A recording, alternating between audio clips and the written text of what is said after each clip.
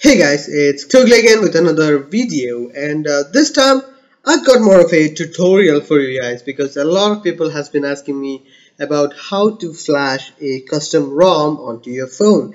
So stay tuned for that.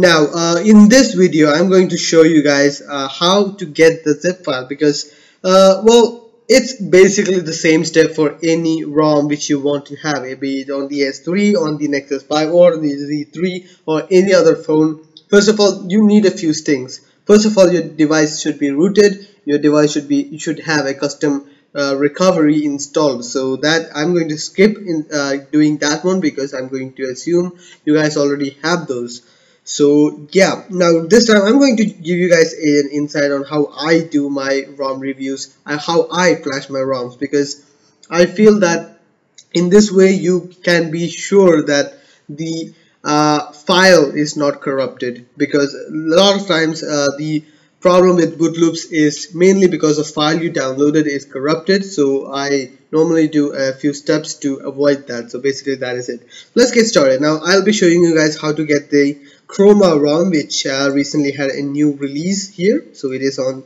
Marshmallow right now. It is for the Nexus 5 ROM. And uh, there are methods to confirm this ROM is for your device so that uh, you won't screw up that. So yeah. So let's get to this stuff. Now uh, this is the normal page. This is the XDA page. This is where you get most of the ROMs which I review at least because well XDA developers is the prime spot for getting custom ROMs so that is just a given. So yeah that's pretty cool. So now first things first you need to get the files which is the zip file for the ROM. So yeah let's get started. Now you can see all this text is there and somewhere in this forum post there will be a download link. You need to check for that. Like in this ROM in this forum you can see you can see uh, download Chroma 24 uh, this is the latest version so you need to get that. I'm opening that in a new link. And GApps means the ROM does not come with a GApp so you do need to install that also. And being Android M you may have to download these separately. Now I'll be showing you guys how to get the ROM now. First of all you can see this uh, the uh, this link gave me a, a, link to this post which does give uh, which has a lot of stuff now first of all it does have a changelog you, you can go through the changelog and all that. So yeah it is a chroma changelog it will go into the changelog and it will show you guys what are the changes. Donate to the developer GApps and now download. I'll be going for the download option which will give me Android file host website which hosts the files. Now it has actually taken me directly to the file which I need to. So some a way, few ways to check this is uh, that uh, for the Google Nexus 5 so you are going to get this onto the Nexus 5 the file size is normally between 190 and uh, well it can go up to 1 gig because uh, stock ROMs are notoriously large. It's about 500 600 megs. Now this is about uh, 200 megs which is normal for a custom ROM without GApps with GApps it will be about 200 plus about 400 megs. So yeah. Now from this website it is easy. You just need to click begin download. There are other websites like Mediafire Mega all of that are there and it's just a simple case of just clicking the download button and downloading the file. Now I am not going uh, this download is going to take a lot of time so I'm just going to tell you guys how to make sure the the zip file you got is the correct one and is not corrupted. So you can also download the GApps file from here uh, right now. Uh, sometimes the link will give you this uh, address and then you need to go into whatever you need. So you have to check what you have. So yeah. So guys after you have downloaded the ROM you have this on your folder. I use IDM for downloads so I have it inside the compressed folder. So yeah I'm going to show you guys uh, something like uh, this thing. Okay Cataclysm ROM. I have recently downloaded that it is working. So once you download the ROM you have to check if it's corrupted or not. I personally do this using 7-zip I have 7-zip installed. In the 7-zip menu there's an option called test archive. It will run through a test. It will extract everything and see if the download is corrupted or not so that you are not stuck with a boot loop issue. So that is something which I make sure before I flash any ROM so yeah.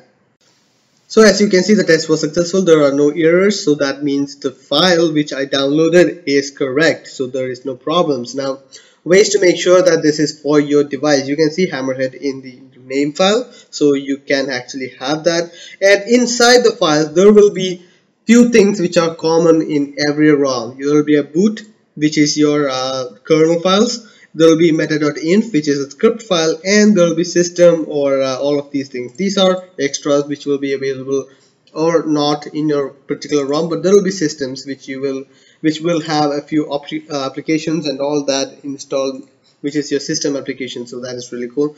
So let me uh, let me show you guys uh, inside the meta.inf file in the com google android and it does have an aroma installer so that is why it is in this file in this format. If it's not an aroma installer aroma files will be uh, missing. Only uh, these and this will be available. These files will not be available. So yeah.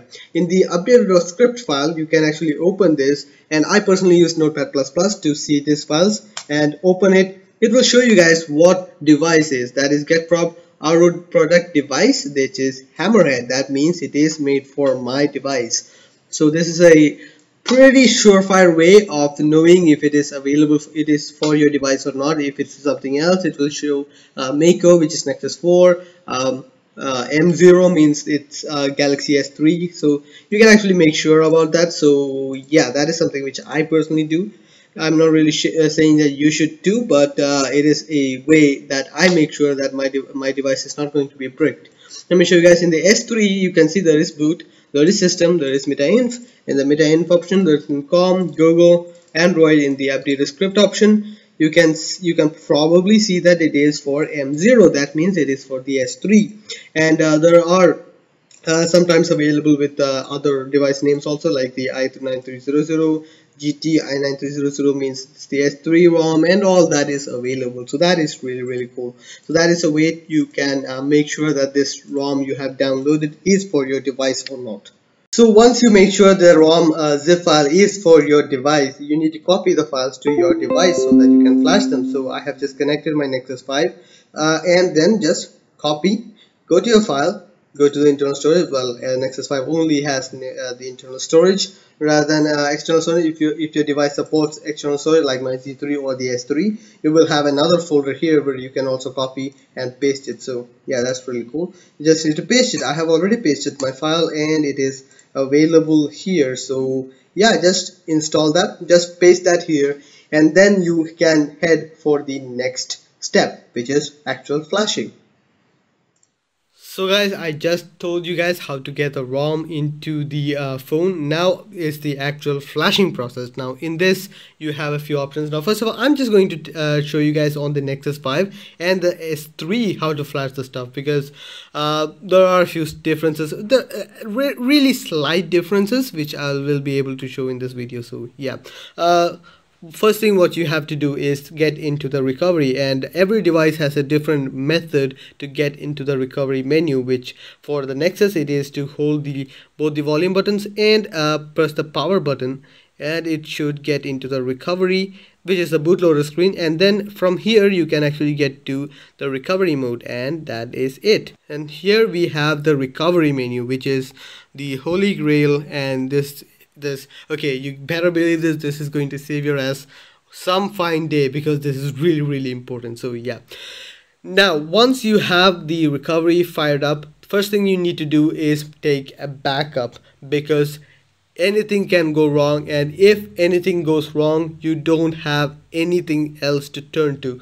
Take a backup uh, take backup of everything not just uh, system data and boot. Take also the backup of EFS partition because a lot of stuff can go wrong and uh, don't take any chances during it. So you can also check uh, the uh, internal storage and if you have a USB drive and a OTG cable you can actually use the OTG to save the backup to the USB uh, drive rather than your phone memory. So you will be saved with a few stuff there. So yeah after you have taken the backup you can check if your backup is available here. Uh, I haven't actually taken the backup because I have a backup on my USB drive. I don't actually use it use the phone storage for the backup. So yeah in any case you can actually have that.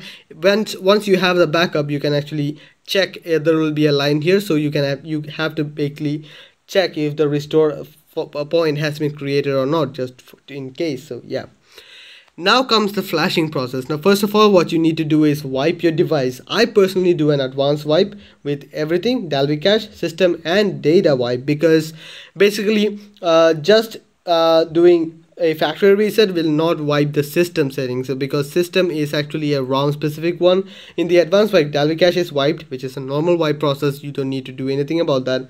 System wipe is the one which you need to do when you're flashing a new ROM because uh, it will clear out the system profile system file and make room for the new uh, ROMs system folder which uh, which contains all the essential apps in it. So I personally do this way. You can also uh, clear the data. Data is the ones you have downloaded the downloaded applications uh, your um, real, real data which is uh, contacts SMS all of that will be wiped from here. So you need to wipe that because that is just something you need to do when upgrading from a previous ROM to a newer version of the same ROM, it is generally given that you don't need to wipe. So basically, if you don't wipe it, you, if you just install the ROM, it will overwrite the system files and being identical, it will not cause any problems and your data is still there. So that is the thing behind dirty flash, which is just flashing without wipe. So that is it. So that's really something which you need to know now I'm going to wipe it because I am going to tell you guys how to flash a new ROM. So uh, swipe to wipe and everything will be wiped now. So it is wiped and uh, there is nothing else on this ROM. Uh, the phone does not even have a ROM right now. So that is something which you need to keep in mind. Do not reboot because it will go into a re, uh, into a boot loop uh, because it will not be able to get any uh, ROM fired up. So just in case you need to understand that. So yeah now flashing the ROM. Flashing the ROM is pretty simple. It's really really simple. Yeah just you need to go to the uh, location you have copied the files to. I have copied it to the internal storage directly so that it, I don't have anything else to do. And understand fi find the file you need to. So this is the file which I just copied. Uh, this this one does have an aroma installer I'm just going to show you the installer I'm not going to install this ROM right now. Uh, so yes yeah. I'm going to show you guys how to do this in the aroma installer you have seen. It is starting the aroma installer. You can select next. You can agree to everything all that all that next. And you can choose what all stuff you need to install. In this ROM specifically it's an aroma installer so it's not going to be how it is in the normal settings so clicking install now will flash the ROM to your device so you will be stuck with it. I'm going to quit the installer and show you guys something else. Now sometimes sometimes very rarely there are a few ROMs which requires you to unmount the system folder yourself rather than unmounting it your uh, unmounting it for you. So in that case you you may not understand this but um, one ROM which was the extra smooth ROM uh, required me to unmount the system myself. So just click here unmount these I normally unmount everything and then go back install install the uh, install the ROM from here. And I'm going to show you guys what it will show if you haven't unmounted.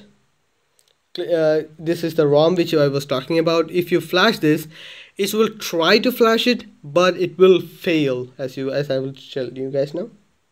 So as you can see the uh, install has failed. That is because it was trying to extract data into the system partition but it was it failed to do that. That is because I haven't manually unmount the system normally this instruction is given in the forum post. Just read the forum post and you'll be good to go with that. But in case you don't you have gotten the ROM from some I don't know uh, Chinese website which I would say you shouldn't because without reading the instruction do not flash the ROM. But if you still want to flash the ROM and are taking all the risk you need to do and uh, do not mind a broken device you can actually go ahead and unmount the system application system data. I'm, I normally unmount everything because uh, shouldn't I and you can actually go for the ROM installation now. And it should technically work because this the system is unmounted now and it can be written onto. So yeah so as you can see this is the boot uh, the flashing was successful this time because I have unmounted my system partition manually. So yeah that is done now.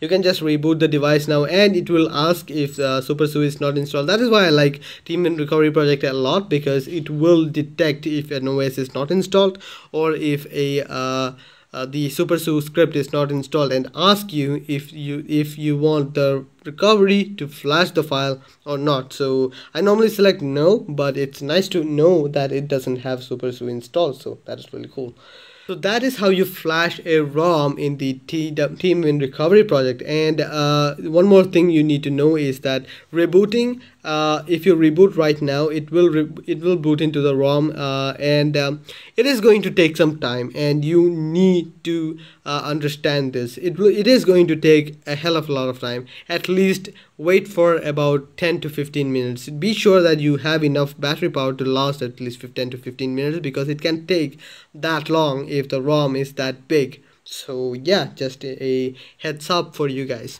So what's the difference in the S 3 now in the s3 the Team Teamwin recovery project which i have installed is a quite it's a bit older version so yeah that's there. And in the mount option you do have a few extra stuff like you can mount efs you can mount uh, unmount all of this and it also has a mount usb storage options. Now in case you realize mid flashing that your zip file was corrupted and you you have already cleared the system apps and uh, you do not have a inability to use the um, you have no other zip files on your phone. You have you have to flash something. So in that case you can mount the USB drive connect your USB to your computer and still use the uh, the SD card as a pass-through and uh, put files into a SD card so that you can flash something. So that is something which I wanted to talk about in the S3 uh, because of the USB, because of the external SD card. So that is something which I really appreciate. Um, in the install menus, everything is same. Uh, as you can see, there are two options here. So you can actually have internal internal storage or uh, the uh, micro SD card which is the external storage also enabled. So yeah that's something which is great. So i guess that much is it about the uh, flashing guide. Uh, i hope this one does explain to you guys how a flashing to be should be done. I'm just going I, I i know that i have given you a bit of tips and tricks more uh, than uh, it is required so you can actually follow them or don't uh, it's your it's your uh, this thing so if you don't want to hey don't so yeah I guess how much is it about this video. I hope you guys like the video. Please share, subscribe, and like the video if you found it useful. Uh, and uh, see you guys next time. Happy flashing.